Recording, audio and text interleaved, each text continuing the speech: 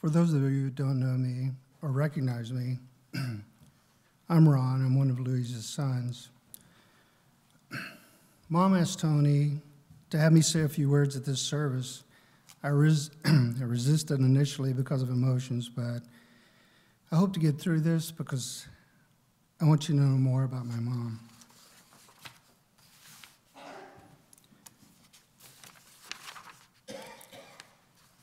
I would like to say up front that mom is fine. She's no longer suffering with pain or dealing with problems in this life. She's a devoted Christian who loves God and has walked with Him and Jesus for many years. She loves God's word and trusts in His pro- promises. She's waiting for the seventh trumpet when she will be resurrected to true life. We will all get to see her again, and I am greatly looking forward to that time.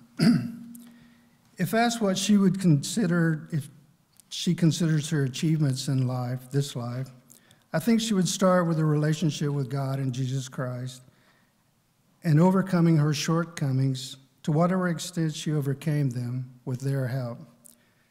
Next, she would list her family, marriage, children, grandchildren, great grandchildren,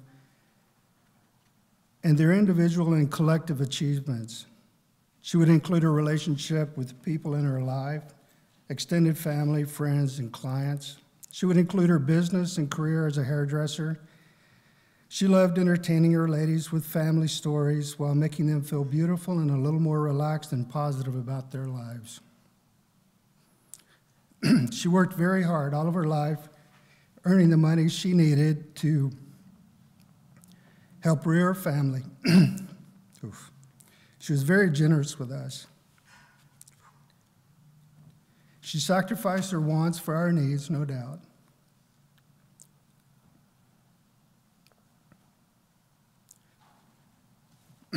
our lives would have been very different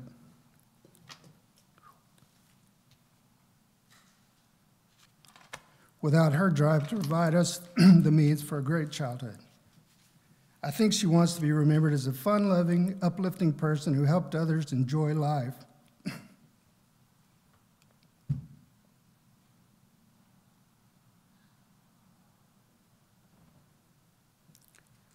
for always being available for family and friends and those in need.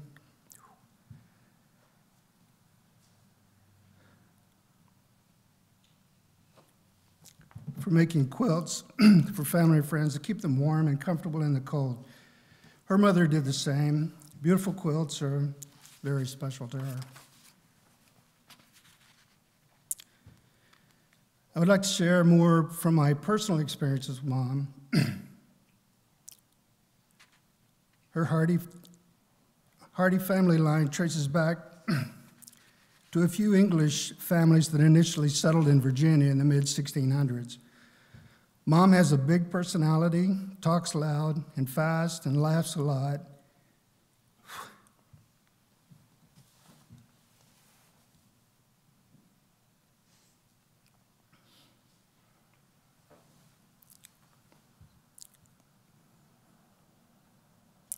and enjoys getting others to laugh with her.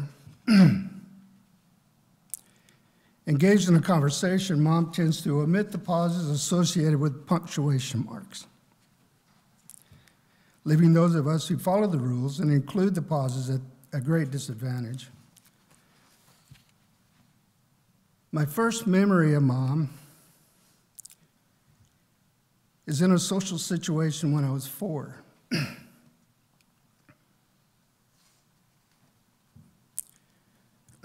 she led me into the trailer with a group of four older women. We're playing cards. She pushed me up to the table under the light and pulled my pants down, fully exposing my private area. Apparently, I had a problem, and she was asking for advice on how to help me. It must have been very serious because even then I knew that one does not casually interrupt a group of ladies playing cards.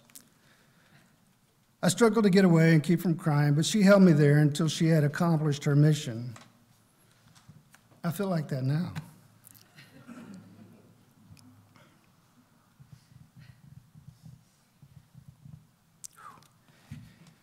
In this final situation with mom, in this phase of life, I feel emotionally exposed,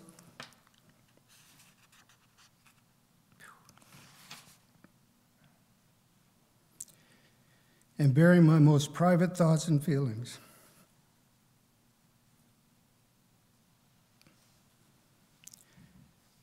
I think she probably wanted to help me learn a few more lessons. And I have.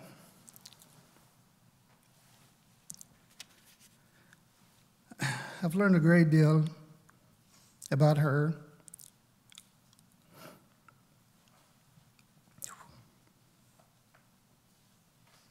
And our relationship and loving someone close.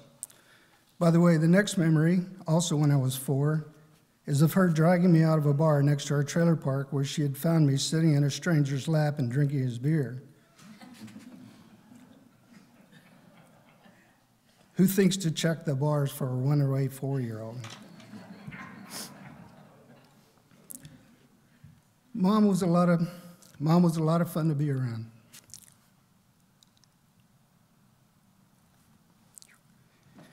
Whether at home with the family, gathering, or at a church potluck, the people sitting at our table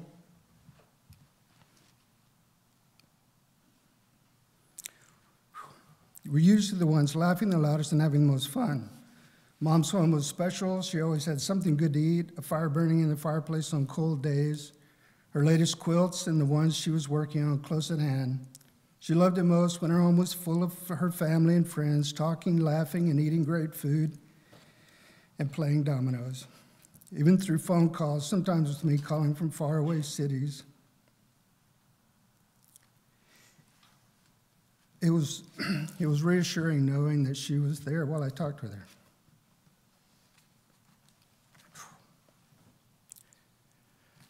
My mom was very strong willed. My first memory of this was her telling us to hold on and shifting our car into reverse and ramming it into an uncle's new car and pushing it out of the way, tearing off a bumper and busting the headlights so we could leave. She'd asked him to move it twice. She had a strong will to, she had to have a strong will to rear us, the Wild Bunch, to be assets in society and to survive all the times she had to pick up the shattered pieces of her life and carry on. She was finally able to settle in a comfortable life with Roger Hillyer in Melrose, where she enjoyed family gatherings and making her beautiful quilts, raising chickens, and tending her flowers. Sometimes our wills clashed with hers, sometimes she pushed too hard, or so it seemed at the times. We occasionally lost some time together, but we always talked through our differences and carried on. She never rammed my car or tore off a bumper but there were times when I was wrong, caught up in minutia, unable to see the big picture of our rela relationship, and should have compromised more or even resolved some of the situations her way. I wish now she would have at least busted a few headlights to help me understand what she was trying to tell me.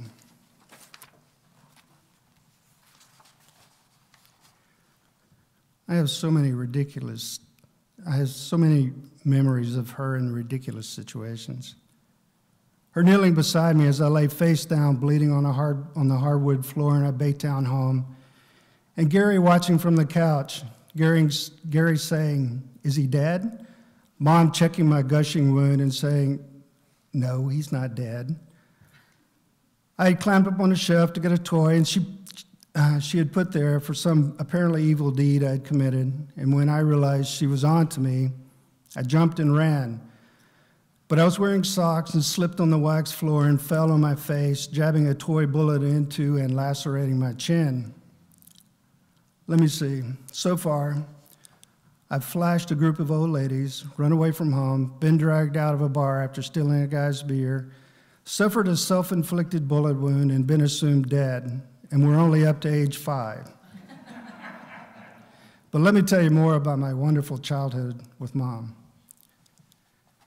Mom giving us the look after Gary and I and several cousins had fallen through the sheetrock onto the concrete floor in the garage in our Baytown home. Mom at the Lufkin Zoo climbing over the rail, guarding the ape cage and pulling Tony away from, the from a large ape that was clutching his shirt with both hands and pounding his face into the bars. Mom shouting at Tony to get off the roof of our house the day after having his tonsils removed, and him sliding down the antenna pole and running for his life. Mom, at night, under a thick cloud of smoke and a barrage of flaming bottle rockets, shooting rockets at our cousins at, our, at one of my aunt's home in Louisiana. Louisiana. Dad and his brothers had bought a stockpile of the rockets and divided the family into two armies. It was a war, and we had a blast. I'm not recommending anyone try it, though. Leave the crazy stuff for the pros. Mom hosting a Tupperware, Tupperware party and shouting, Get your goat off my dessert table.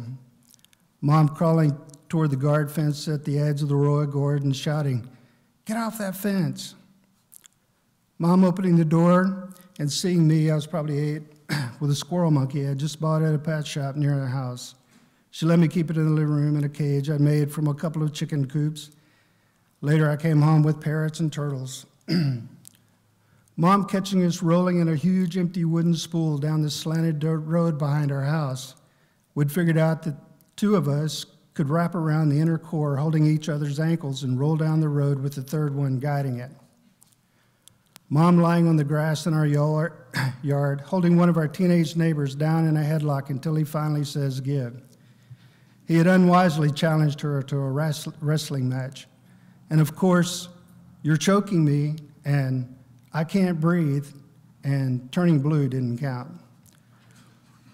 We had great childhoods. Our parents let us grow up country, and we loved it.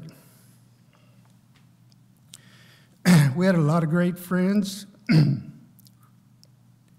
at all ages. We worked hard,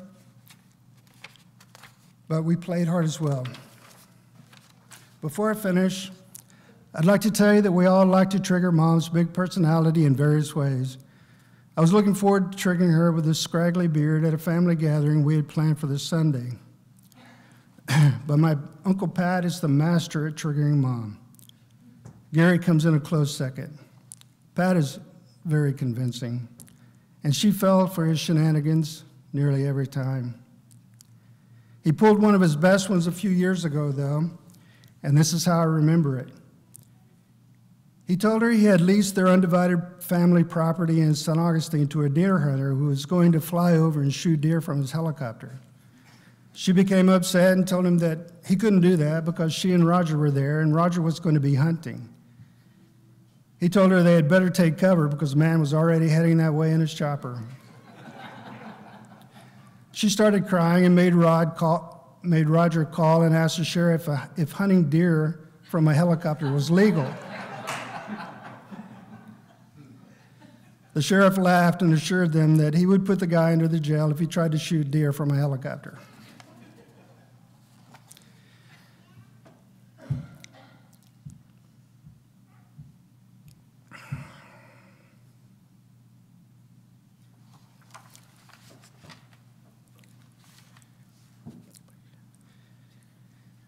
Thank you, thank you for coming to honor mom.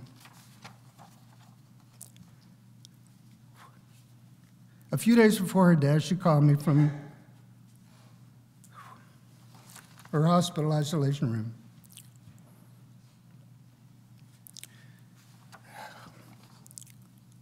Due to the current restrictions,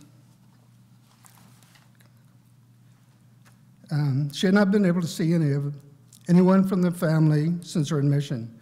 For almost three weeks, she'd been struggling to breathe and keep her oxygen saturations up. She was emotionally and physically exhausted. Her voice was high pitched and weak, and she was overwhelmed with emotions. She said, I'm in a mess here, Ron.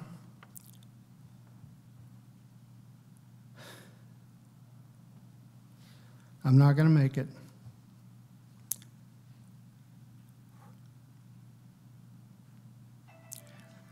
Tell everyone I love them. Mom loves you. But you know that in her own way. Mom has been showing us she loves us.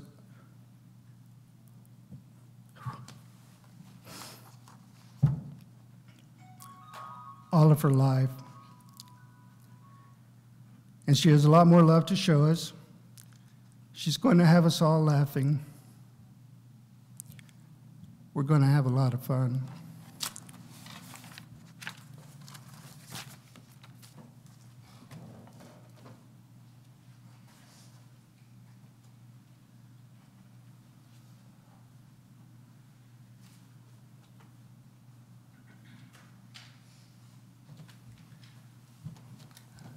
My name's Tony Ware. Ron's my brother.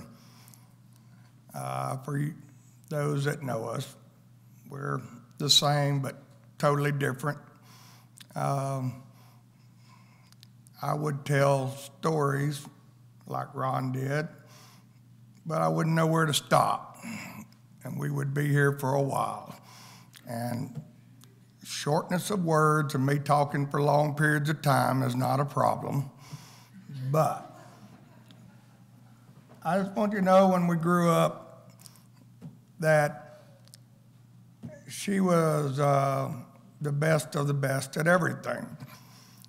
Uh, no matter what we did football, band, baseball, whatever. If there was a play at school, and back in the day you couldn't go buy things, she would make it.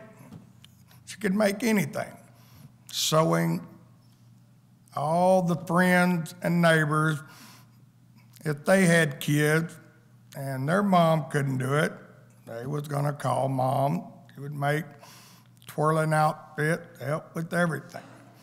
And mom didn't mind doing that because she never had a daughter, which she always wanted. But uh, when we went to any event where it was bring something to, um, to eat, whether it was potluck or whatever, we never brought anything home because it was always eaten. Mom was a fabulous cook. She was fabulous at sewing, not just quilts, but she made me, Ron, and Gary, all three of us, three piece suits when we was teenagers.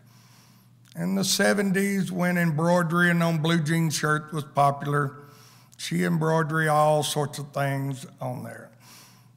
When bell bottoms become popular, if you didn't have the money to buy them, or if they didn't have a big enough design, she would make the bell bottoms out of regular blue jeans for us. She would do pretty much everything. Uh, I was probably a teenager before I knew my name was Tony and not Tony Kent. And when she said Tony Kent, you was real close to getting a butt whooping. And she said Tony Kent a lot as we grew up. And uh, she uh, was just you know, best cook. That was my mom. Best at sewing anything that was my mom. The best at giving butt whoopings, that was my mom. I mean, the best at just anything you wanted to do, that was my mom. She loved Colorado. Um, I took her there on a couple occasions. She loved Jackson Hole, Wyoming, too. Uh, if you notice in these pictures up here as you go, I'm in a lot of them. And I asked her why not long ago that was, and she said, You just needed more guidance from me than the rest. And, and I did come to terms and knowing my mom well that uh, over the years, I become my mom way of thinking because my mom was too hard headed, so you couldn't change her, so you had to become her. You had to become her way of thinking. And come find out that wasn't a bad way. Uh, we had uh, great family days all our younger years at my grandmother's in St. Augustine. All my cousins and us some of the best times playing football in the front yard. Uh, it was a, a great life. I could not ask for a better life. I could not, uh, it was just a good time. She was a very special woman, and any of y'all that knew her knew that. And I just wanted her to come up here to know that even though she's gone, I still haven't learned to shut up or be quiet, which she told me a lot in my life. And uh, she led a, a good life. Uh, and I'm sure she's she's happy with her life. I'm sure she's uh, happy where she's at and smiling down on all of us. And I just wanted to, when we started this, mom called me and told me what she wanted if she didn't make it. And she wanted Ron to do the eulogy. And after she didn't make it, I told Ron, he said that he couldn't do it, that I should do it. And I said that I don't talk as good as you. I talk more than you, but I don't talk as good as you. And he said, Well, you'll do a good job. So I tried to pass the buck, and I told Kim, You know, you talk real good. You might could say something. She said, No, I can't do that. So I told my daughter Megan, I said, You know, you're prettier than me. You could go up there and you could do it. And she says, I can't do it. And I said, Well, I'm Mr. Handle It, and I'll go up there come hell or high water. And so uh, Ron decided he could do it. So they didn't want me. They got the, I think they got together and said, we got to get somebody else up there besides Tony. And so then Ron decided he would do it. And I told him, I said, well, y'all done got me geared up now. I'm getting up there. And I want to I want to say what I got to say. And I don't know what that's going to be, but uh, I just wanted to tell y'all and uh, tell her what a what a special mother she was. That was my mom. Thank you.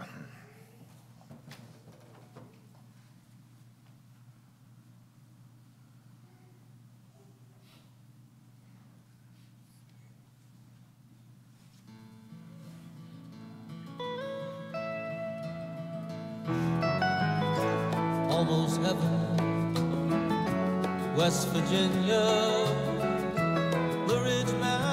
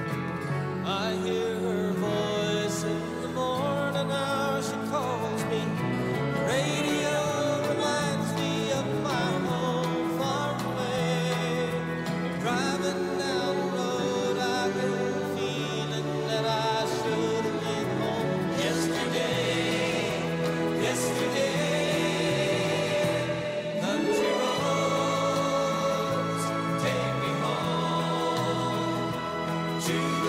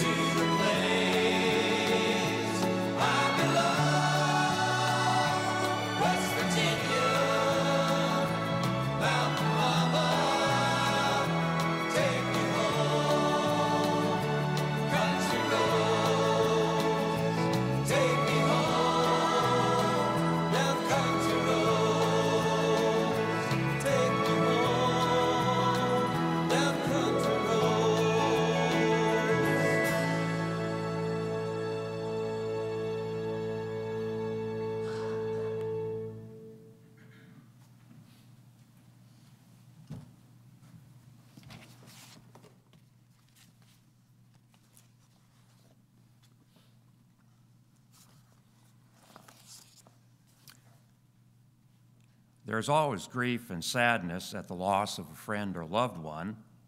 We're faced with the finality of never seeing them again in this life. And of course, as uh, time goes on and we lose friends and family, we realize our time will come too, that this is a physical life and this physical life is temporary. Yet, the situation is not without hope. When we understand the inspiring truth from God's Word, the Bible, the Word of the very Creator God, there is hope for the future. We will see our loved ones once again. It is, as Sir Winston Churchill said, not the beginning of the end, but the end of the beginning. For there is more to God's plans for mankind, and that plan is fulfilled in part through the resurrection of the dead. It is this hope of the resurrection that encouraged Mrs. Hillyer throughout her life. Ecclesiastes chapter 3, verses 1 to 2 states, To everything there is a season, a time for every purpose under heaven, a time to be born and a time to die. The Apostle Paul writes in Hebrews chapter 9, verse 27, And as it is appointed unto man to die once, but after this the judgment. The Bible reveals that death is like sleep. The dead are not conscious of the around or the passage of time. In Ecclesiastes chapter 9, verses 5 and 10, we read, For the living do not know that they will die, for the living know that they will die, but the dead know nothing. Whatever your hand finds to do, do it with your might, for there is no work or device or knowledge in the grave where you are going. Jesus Christ confirmed this truth at the death and resurrection of Lazarus in John chapter 11, verses 11 to 14. He said to them, Our friend Lazarus sleeps, but I go that I may wake him up. Then the disciples said, Lord, if he sleeps, he will get well. However, Jesus spoke of his death, but they thought he was speaking about taking rest in sleep. Then Jesus said to them plainly, Lazarus is dead. Just as death is compared to sleep, so the resurrection is compared to waking up. Daniel chapter 12, verses 1 to 2 says this At that time, Michael shall stand up, the great prince who stands watch over the sons of your people. And there shall be a time of trouble this time of trouble, of course, is mentioned again by Christ in Matthew 24, the Great Tribulation. And there shall be a time of trouble such as never was since there was a nation, even to that time. And at that time your people shall be delivered, everyone found written in the book. And many of those who sleep in the dust of the earth shall awake, some to everlasting life, and some to shame and everlasting contempt. Again, in Ephesians chapter 5, verse 14, Paul writes, Therefore, he says, Awake, you who sleep, arise from the dead, and Christ will give you light. Job asked in Job chapter 14, verse 14, If a man dies, will he live again? He then answers his own question All the days of my hard service, I will wait till my change comes. You will call, and I will answer you. You shall desire the work of your hands. The understanding that Job had was the same understanding that Jesus gave to Martha, the sister of Lazarus. John chapter 11, verses 23 to 26. Jesus said to her, Your brother will rise again. Martha said to him, I know that he will rise again in the resurrection at the last day. Jesus said to her, I am the resurrection and the life. He who believes in me, though he may die, he shall live. And whoever lives and believes in me shall never die. Do you believe this? Christ's role is further described in 1 Corinthians chapter 15 and verse 20.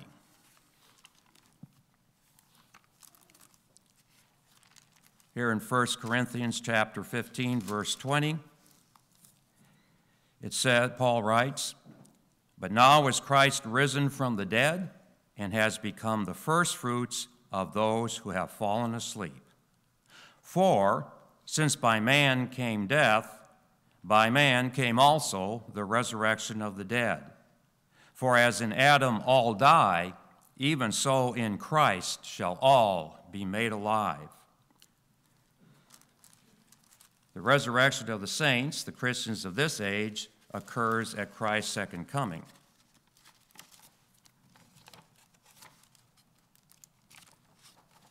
Paul discusses this truth in 1 Thessalonians chapter 4 and verses 13 to 18. Paul writes to the church in Thessalonica, But I do not want you to be ignorant, brethren, concerning those who have fallen asleep, lest you sorrow as others who have no hope. For if we believe that Jesus died and rose again, even so God will bring with him those who sleep in Jesus.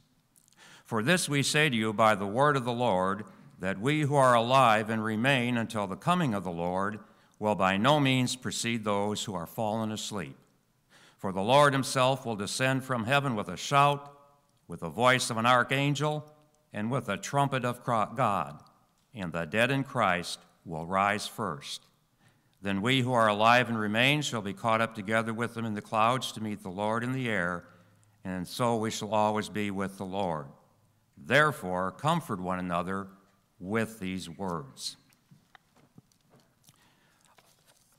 Paul then expands this discussion back again in 1 Corinthians chapter 15 and verse 50.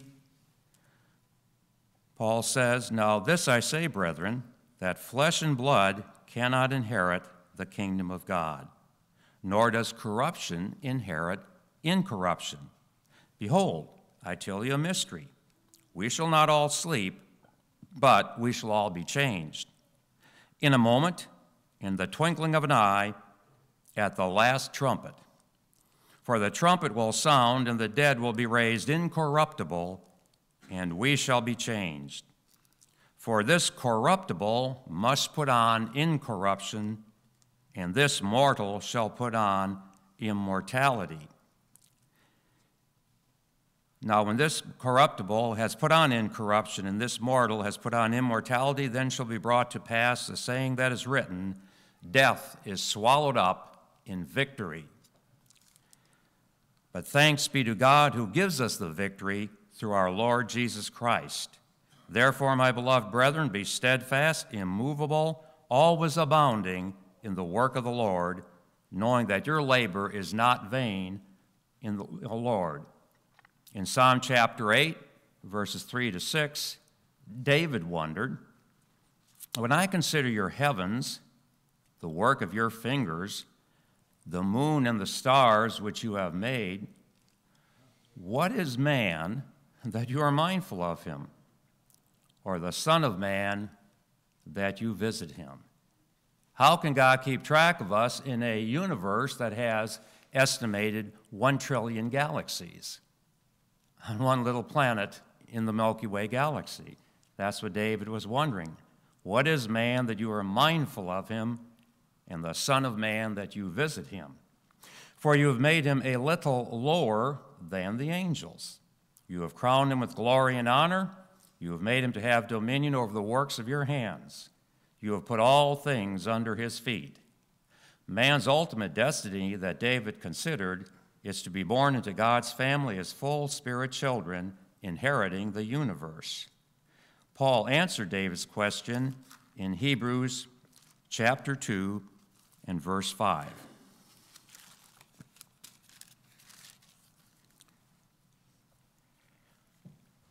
for talking here about God, for he has not put the world to come, of which we speak, in subjection to angels.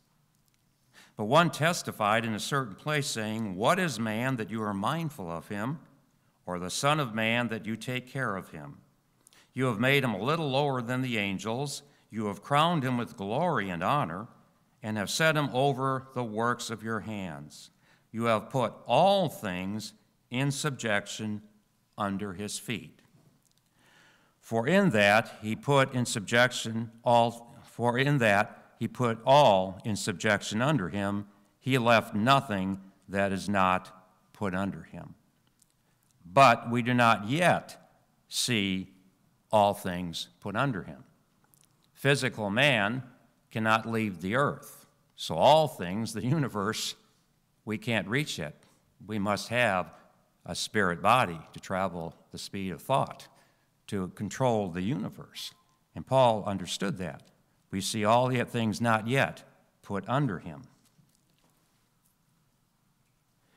All things, of course, meaning the universe. Hebrews uh, chapter 1 and verses uh, 1 to 2 uh, shows us that the universe is what Jesus Christ inherits. Hebrews chapter 1, verses 1 to 2 God, who in various times and in various ways spoke in times past to the fathers by the prophets, but in these days has spoken to us by his Son, whom he appointed heir of all things. Our inheriting the universe as full brothers, as full siblings with Jesus Christ, is further shown in the scriptures. Uh, Ephesians chapter 3, verses 14 to 15, Paul writes, For this reason I bow my knees to the Father of our Lord Jesus Christ, from whom the whole family in heaven and earth is named. Uh, Romans chapter 8, verse 28, we see this a little further. Romans chapter 8.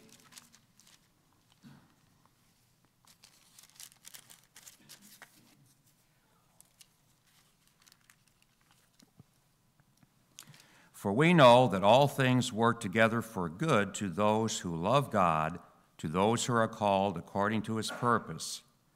For whom he foreknew, he also predestined to be conformed to the image of his Son, that he, Christ, might be the firstborn among many brethren. Moreover, whom he predestined, those he also called. Continuing on in uh, Hebrews chapter 2 again, verse 10.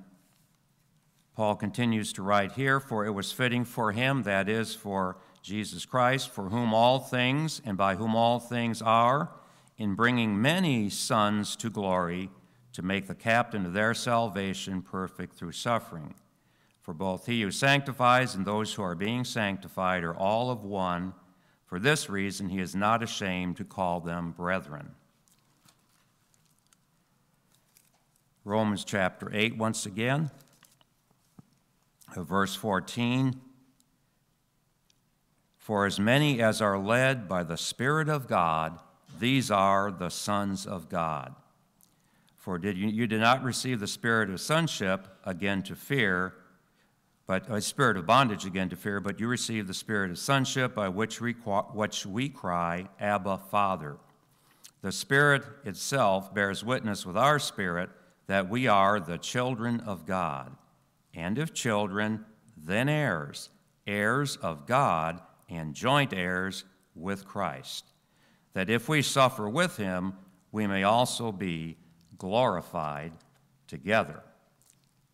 And then Matthew chapter 13, verse 43 talks about being glorified together with Christ. Here Jesus said in Matthew 13, 43, then the righteous shall shine forth as the sun in the kingdom of their Father. Revelation chapter 20, verses 4 to 6, shows us that those born into God's family at the first resurrection at Christ's coming shall rule with him for a thousand years.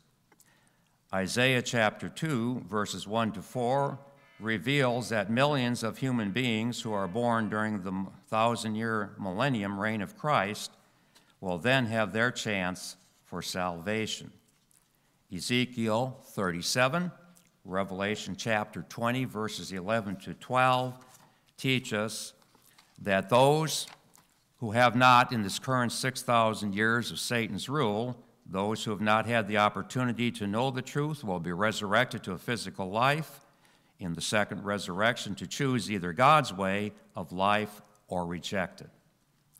So, God's plan for mankind's glorious future is one of hope. We sorrow at death. We know this life is temporary, but we look forward with hope to eternal life and seeing our loved ones, including Mrs. Hillyer, once again. Yes, the resurrection is coming in the not too distant future for the true saints of God, the church, the Christian church in this age, with Christ's second coming. So let that hope be in our lives as well as, live we, as we live through these very troubled times before the second coming of Christ.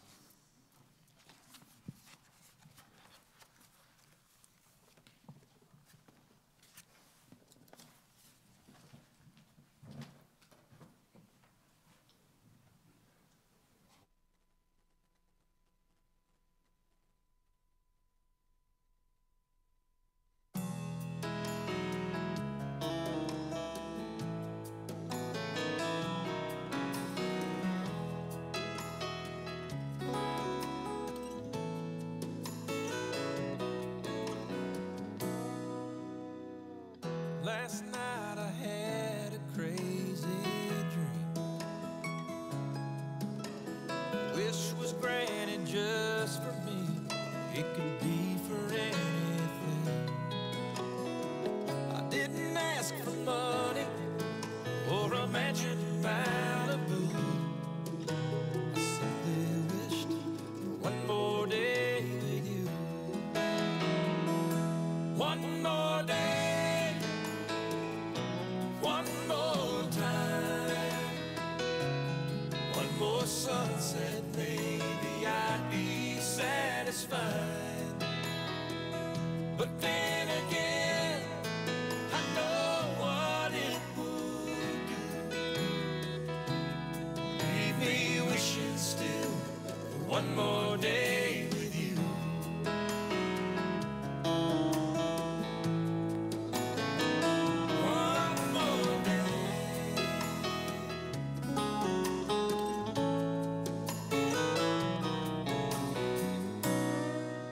First thing I do is pray for time